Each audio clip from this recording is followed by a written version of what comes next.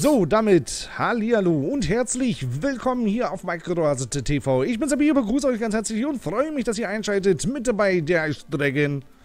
Hallöle. Und wir spielen heute den Stellwerk-Simulator. Der ist komplett kostenlos. Den könnt ihr euch, ja, könnt ihr euch selbst anschauen, wenn ihr das wollt, auf stellwerksim.de. Und was das Ganze ist, da kann der Ice Dragon euch da vielleicht ein bisschen mehr erklären, während ich hier schon mal die ersten Züge hier abfertige.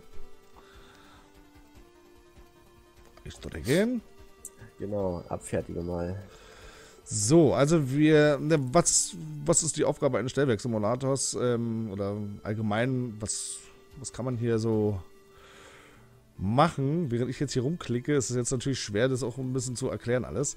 So, So. können wir gleich mein Layout hier verändern, weil ich habe ja ein anderes Layout. Ja. So. Also der Stellwerksimulator ist natürlich, ähm, wie kann man das sagen, steuert natürlich die, die, die ganzen S-Bahnen oder Fernzüge und alles sowas, ne? Gibt halt äh, immer zentrale Punkte. Wir zum Beispiel kümmern uns hier gerade äh, um Teltow Stadt, Lichterfelde Südostdorfer Straße, Lichterfelde Ost, Langwitz und Südende.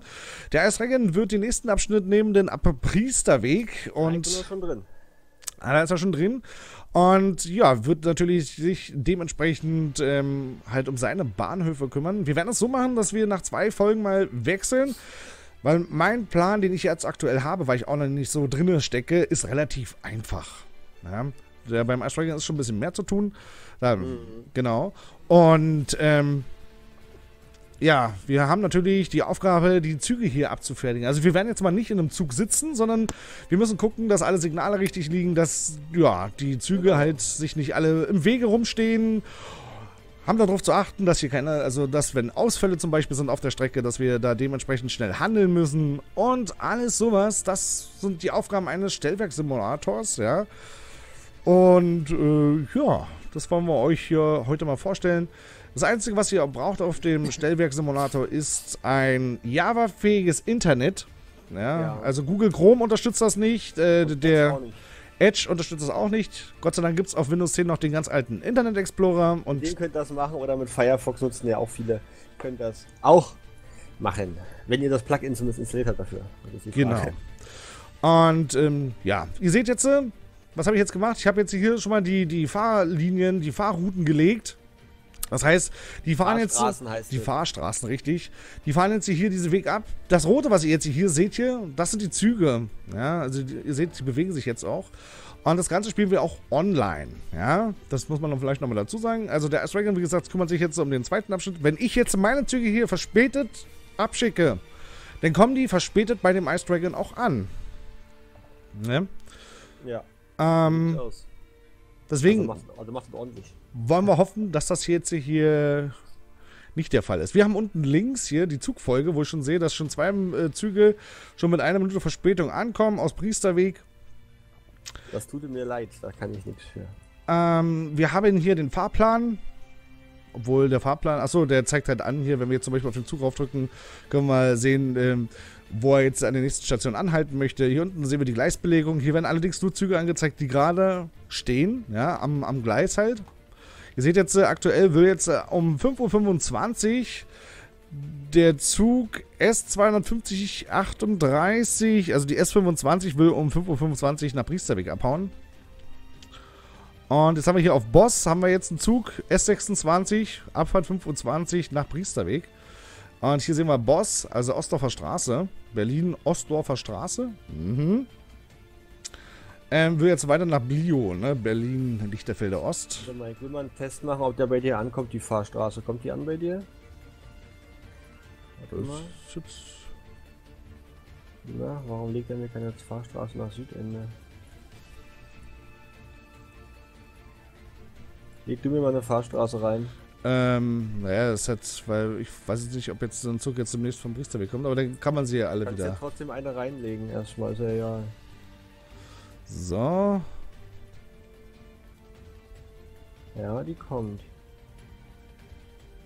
Ich kann dir keine Fahrstraße reinlegen. Da sind keine Fahrstraße. Ja, weil gerade ein Zug reinkommt jetzt. Äh. Naja, aber trotzdem muss er dir ja eigentlich eine Fahr... Wie, du kriegst gerade du kriegst gerade einen Zug von Priesterweg Ich rein. krieg gerade einen Zug vom Priesterweg rein. Okay, das könnte erklären, warum ich keine Fahrstraße legen kann. Sag So. mir mal, sag, sag, mir mal, wenn der denn ähm, Südende weg ist. Wenn, wenn die Strecke Okay. frei ist. bis in die Haltestelle rein. So, FS war auflösend, ne? Genau. Ähm, Solltest du allerdings auch nicht übertreiben mit dem FS auflösen, weil das wird gezählt übrigens, ne? Na gut, du hast jetzt gerade gesagt, ich sollte jetzt eine Fahrstraße ranlegen. Ja, die hättest du liegen lassen können, hätte er nie gestört. Nee, weil dann fährt nämlich der von Südende nicht weiter. Wieso? Du kannst doch aus der Haltestelle raus Südende einfach nach Priesterweg eine legen, ohne dass du da extra so. eine rein. Das habe ich jetzt nicht gemacht, ne. So, jetzt Ach. muss ich erstmal. Ja. So, wir haben jetzt hier den hier. Ähm, S25 will jetzt demnächst los. Äh, Dann sehen wir hier auch BTLS2, deswegen können wir hier schon mal die Fahrstraße legen. Wie gesagt, also eigentlich müsste euch das der Dragon erklären, weil der steckt da deutlich mehr in der Materie drin als meine Wenigkeit hier.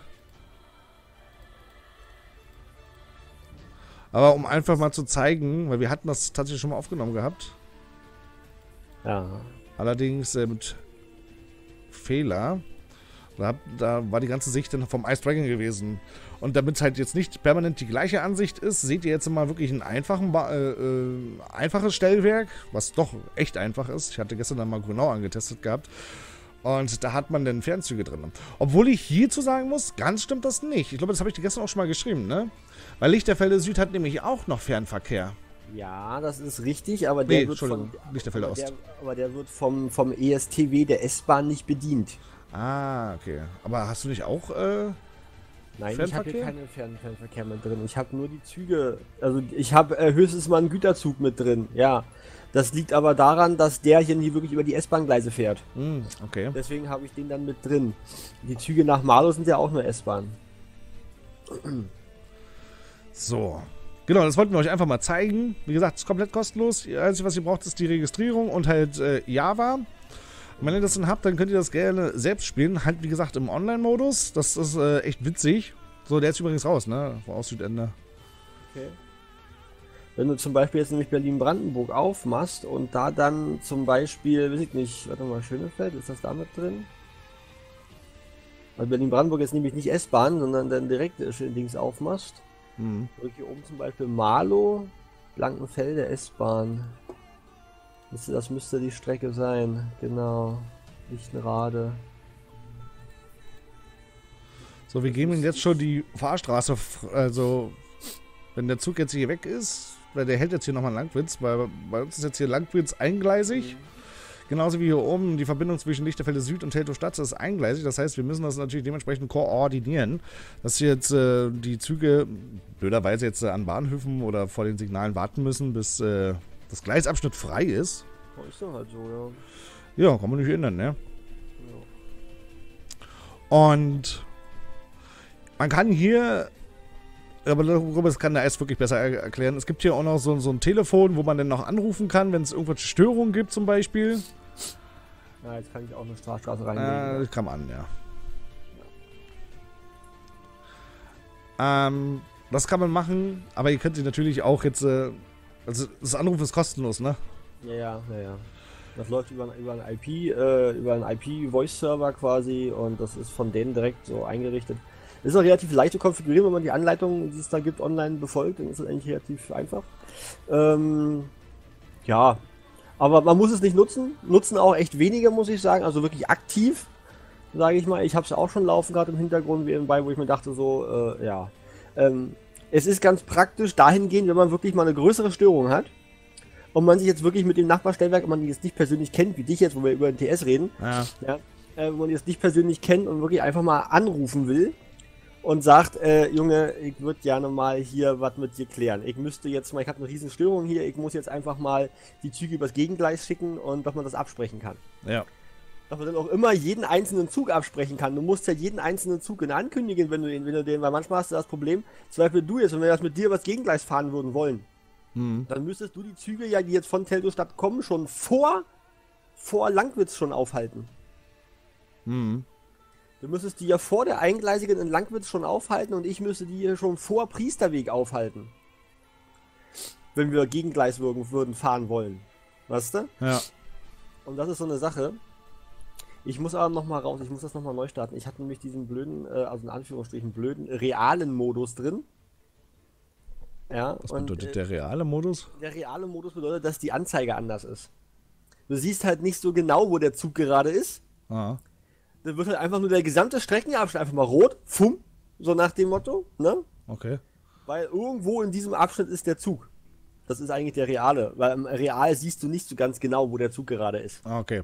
Siehst halt nur der gesamte Streckenabschnitt, der ganze Blockabstand oder bis zur nächsten Erfassungseinheit quasi ist dann einfach rot. Der Zug ist nach hinten gefahren, der Stück ist jetzt rot, fertig. Ist aber realistisch. 36 schickst du mir. Mit 10 Minuten Verspätung, Kollege. Was? Ich, ich, ich schicke dir gerade gar nichts. Ich krieg von Südende Das 25.036. ist aber keiner von mir dann. Meiner Kommt jetzt. Meiner kommt jetzt erst. Der fällt jetzt gerade in Südende ein. Ja, ja, der kommt jetzt demnächst, ja. Ich hab ihn halt schon an, ich hab ihn halt schon an hier, hier, hier stehen. Er wird mir schon angezeigt. Wie? Was mit 10 Minuten Verspätung? Er zeigt mir mit 10 Minuten Verspätung. Ich habe 2 Minuten Verspätung. Nee, warte mal. Von Ja, Blag. er sollte- er sollte Priester, 2 5.18 Minuten. Sollte 5.18 Uhr hier sein und jetzt kommt er bei mir reingefahren. Nö, das bin ich da noch nicht. Und wo ist er bei dir gerade? Äh, fährt gerade in Langwitz ab. Der 25.036, ja? Ähm, das ist der S26 kommt. 26522.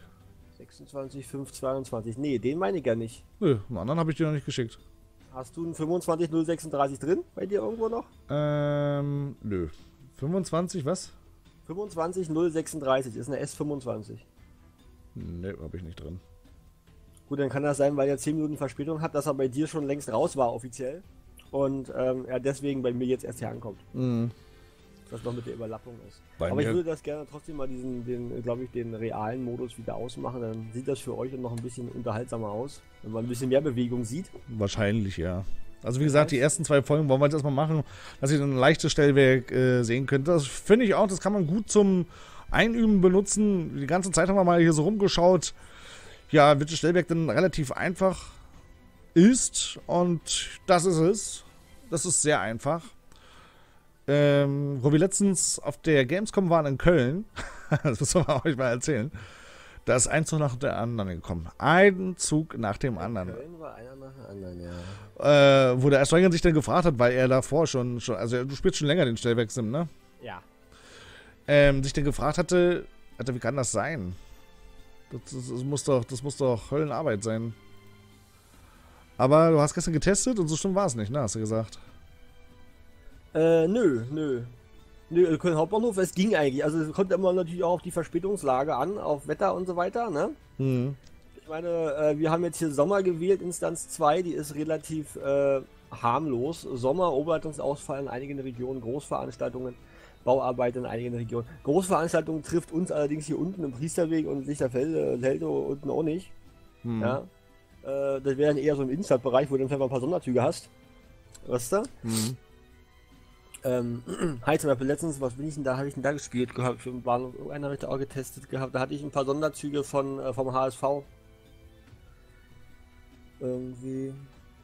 Das war, glaube ich, sogar, als ich Hamm gespielt habe das letzte Mal. Ich spiele sonst meistens immer den Bahnhof Hamm. Das ist irgendwie mein Lieblingsbahnhof. Okay. Den kenne ich in- und auswendig. Ich kenne die Gleise. Ich weiß, wo ich welche Züge hinstellen muss, wo ich die kuppeln muss. Wenn ich nur sehe in der Fahrliste, da kommt ein ICE, klick ihn an, dann sehe ich schon, äh, kuppelt mit, dann weiß ich schon Gleis 5, alles klar. Ja. Ja. Dann weiß ich schon, wo der hin muss. Und dass der warten muss. Ich hatte das letztens gehabt. Oh. Nicht nur mit der Weichenstörung letztens, hatte ich ja schon, äh, hatte ich ja in der Aufnahme, die letzte Mal gemacht hatten, schon erzählt, hatte ich eine Weichenstörung, 79 Minuten. Ich konnte 79 Minuten lang einen bestimmten Güterzug und alle, die dahinter kamen, natürlich auch, nicht fahren lassen. Okay. Der musste dann wirklich diese 79 Minuten bei mir im Stellwerksbereich warten. Ich konnte ihn nicht weiterschicken. Wäre dann auch so eine Absprache mit Nachbarstellwerk von wegen, du, äh, wie sieht's denn aus? Kannst du die bei, die bei dir zwischenparken? Ich kann die hier nicht weiterleiten. Ich hab, ich hab keinen Platz für die. Wir die wollen mit denen sonst. Ähm, und, ähm, oder schick mir erstmal nur die Züge, die in die und die Richtung weiterfahren. Weißt du? Weil eine bestimmte Richtung kann man vielleicht fahren, aber eine andere Richtung vielleicht nicht. Weißt du, so nach dem Motto. So, ich muss noch kurz warten. Äh, Wie gesagt, wenn ich online gespielt habe, kann man ja nicht so schnell das Stellwerk wechseln oder wieder neu in dasselbe Stellwerk einsteigen. Man muss dann mal kurz warten. Ist halt noch gesperrt. Wartezeit für selbes Stellwerk. So, jetzt ist es auch wieder frei. Sehr gut. So, dann dürfen wir wieder rein. So, 5.30 Uhr haben wir es im Spiel. Dann starten wir jetzt wieder rein in den BT. Jetzt mit dem Unterhaltungsmodus, wie es so schön heißt. so, ich hätte gerne Layout, gerne mal T an analoge Uhr lasse ich mir einblenden. Weil ich Steeds nicht anhabe, das Telefonsystem, kann ich mir auch die, die analoge Uhr einblenden lassen. Habe ich ganz groß hier auf dem Dings eine analoge Uhr. Ist ganz praktisch. So. Dann zoomen wir erstmal hier noch ein bisschen ran. Regler, ich habe gesehen, den kann ich fast auf 100, 150 hier, genau knapp 150 Prozent hochknallen. Hat man schöne Übersicht. So. Jetzt bin ich wieder drin. Ich habe einen Zug, der muss vom Rangierbahnhof raus. Ja, sowas habe ich nachher. Gleis und dann muss er zurück nach Teltow Stadt. Beziehungsweise habe ich jetzt nicht mehr, weil jetzt ist er wohl schon drin anscheinend. Schade. Wechselt der denn automatisch? Weil irgendwie. Die Richtungswechsel, wenn die planmäßig sind, wechselt der die automatisch, ja, ja. Wenn er automatisch, also wenn er einen Richtungswechsel machen muss, dann äh, macht er den in der Regel automatisch. Nur Außerplansachen musst du selber anordnen dann. Mhm. So, jetzt soll gleich einer abfahren. 32 von, nee, nach Marlow. Dann bitte einmal BÜ schließen. So, und dann äh, nee, das ist der falsche. Upsala. Also auflösen. So, der war falsch. Der will nämlich in die andere Richtung. Der vom Priesterweg wollte Richtung Malo abfahren. Der da.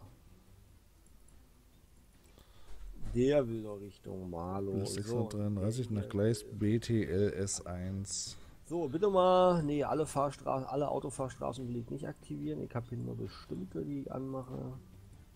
Gibt ja auch so ein paar Autofahrstraßen, die bei dir allerdings nicht viel bringen. Nö. Mit der ganzen eingleisige Dönster. Aber da, wo man zwei Gleise hat, da macht das ja Spaß. Wir können uns auch gerne mal irgendwann mal die U-Bahn angucken, ne? U-Bahn, das hört sich natürlich auch nicht verkehrt an. Gibt ja die U7 meines Wissens. Ich muss aber nochmal genauer, genauer nachgucken, kann ich aber gleich parallel mal machen. Mal schauen, was es da so gibt. Wegen auch passendem Nachbarstellwerk logischerweise. Mhm. Da wirst du allerdings definitiv, hat ich aber schon mal gesagt, mit Autofahrstraßen arbeiten müssen. Ansonsten kriegst du einen Knall. So, hier machen wir auch eine automatische rein, was von Südende kommt. Ich wundere mich, dass er mir nicht anzeigt bei Südende, dass die Signale hier gelb sind. Eigentlich müsste er mir die äh, Brücksignale, die Vorsignale gelb schalten. Hat er die bei dir geschaltet? Was? Weil jetzt Priesterweg besetzt ist. Hat er dir jetzt diese zwei äh, kleinen Gleissignale, die in Richtung äh, Priesterweg stehen, hat er dir die auf gelb geschaltet? Mm, das eine ist gelb, das andere nicht. Das andere ist grün. Also wenn ich jetzt zu dir rausschicke, ist, ist grün das und wenn. Das ist grün, weil ich die Fahrstraße gelegt habe, ja. Hm? Das genau. andere ist gelb. Ne? Das andere ist gelb, ja. Warum schaltet er die bei mir nicht zu dir? Die müsste er eigentlich auch schalten. Wie ist die Kommunikation nicht gerade 100% da? Tja, ja. Ist denn manchmal mit der Kommunikation? So, haben wir irgendwo Züge rumstehen hier? Ich habe ja bloß drei Züge aktuell drin. Wer steht denn hier vor einem Signal? Irgendwer steht vor einem Signal. Äh, 234. 234? Von Malo nach Anhalter Bahnhof. So, aber soll ich sagen? Dass du an dem Signal stehst, bist du blöd? Die erste Folge ist zu Ende. Wir sehen uns zur nächsten Folge hier wieder. Unbedingt, wenn euch das gefallen hat, könnt ihr ein kleines Dankeschön da lassen. Würden wir uns darüber freuen. Verabschieden wir uns hier, sagen Dankeschön fürs Zuschauen. Ciao, tschüss und bis zum nächsten Mal. Tschüss. Tschüss. Hat euch das Video gefallen? Dann könnt ihr uns gerne einen Like da lassen. Wenn ihr natürlich nichts mehr verpassen wollt, dann abonniert uns und drückt selbstverständlich die Glocke hier auf YouTube und möchtet ihr lieber die kompletten Livestreams zu diesen Projekten schauen, dann folgt uns auf Twitch, denn dort streamen wir immer Dienstags, Donnerstags und Samstags diese Projekte. Wir würden uns freuen, euch dort wieder begrüßen zu dürfen und ich verabschiede mich hier, sage Dankeschön fürs Zuschauen, ciao, tschüss und natürlich bis zum nächsten Mal. Tschüss!